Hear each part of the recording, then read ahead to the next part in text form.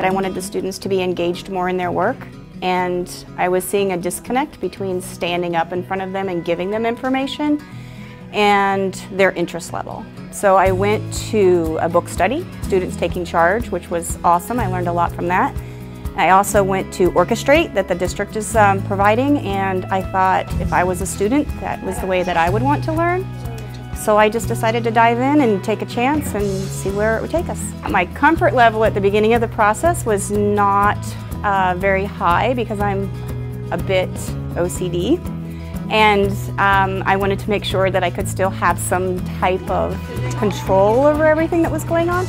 But I've learned since doing that that actually the kids control it much better than I did.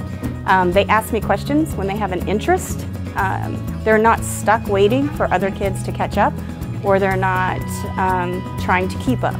They're working at their independent levels in reading, writing, math, science, social studies, and we do quite a lot of technology, so it's differentiated very well. I use quite extensively iReady in my classroom. And um, what I love about iReady is that you can assign students lessons at their learning level. And so it may be algebra or geometry, but it's at a level that they can understand it.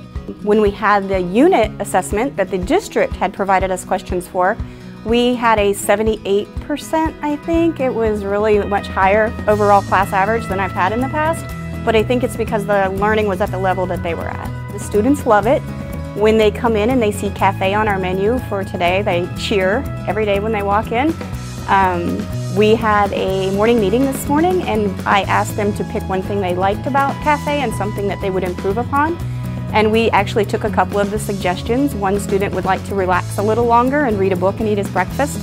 And I said that's perfectly fine as long as you're getting everything done. So he's already feeling a little more relaxed that he's going to be able to do that next week.